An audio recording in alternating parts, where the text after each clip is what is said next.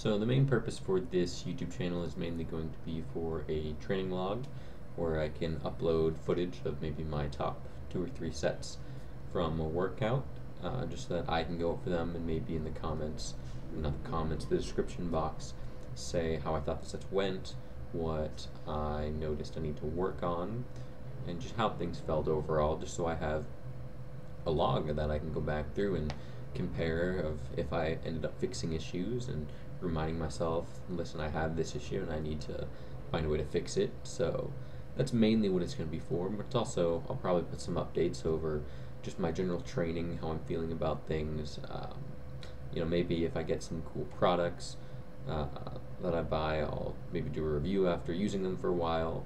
Since I am starting to get into powerlifting, you know, I just picked up an Inzer belt.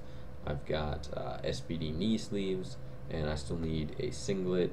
Um, I'll probably buy a pair of deadlift socks uh, just to be cool.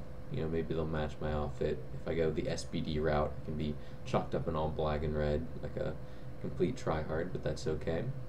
Um, and just sort of go over my plans for training and whatnot. For instance, um, I've got my first meet coming up here in December on the 12th. It's a local meet here in Columbus, and I plan on competing in the 74 kilogram weight class.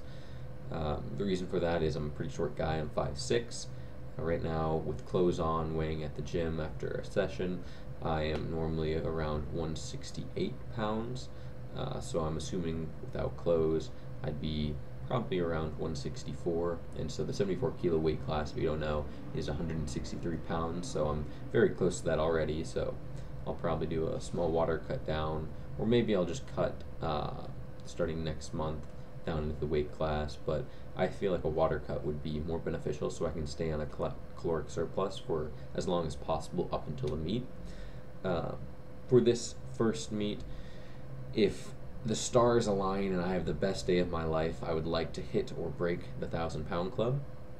But realistically, I think I'm looking at maybe a 965 total, um, and I'd be happy with that. I wouldn't be upset if I don't break the thousand pound club. It'd be a pretty big stretch, and I need a pretty awesome third pull to uh, shoot me up into that bracket.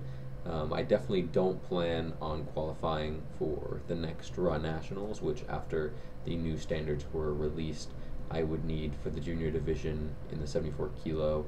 I believe it's a 1065 total. And so for me to hit that would be 100 pounds over what I'm realistically expecting to hit and I don't really see that happening. But you know, maybe stars will align, and I'll find some godlike strength on the platform and carry it home. But I won't be upset at all.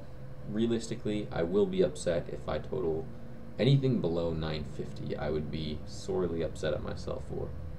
In training, I've hit 950 pretty easily. Uh, I think I can pull that one out, no big deal. Just when we get out into the weights heavier than that, uncharted territories, who knows how it's going to go.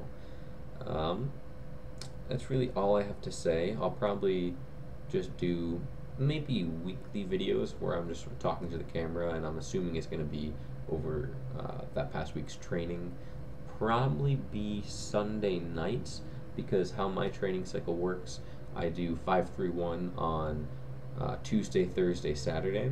It's a three day a week uh, three week five through one cycle, and then Sundays I also add in uh, an extra day where I do a 20 rep squat cycle and just maybe some pause work for squats and then a bunch of accessories. Since I always feel like I'm so new and I'm so weak in every area that during the week I don't have time to hit all the accessories that I want. And so I'll use Sunday to either try new accessories or just sort of hammer out parts that I feel were lacking that past week. So that's what you can kind of expect here if you care about following this. But again, this isn't for anyone. This is literally just for me, for my training purposes, so that I can go back and see where I've where I've been, what I've done, and how I can improve myself in the future.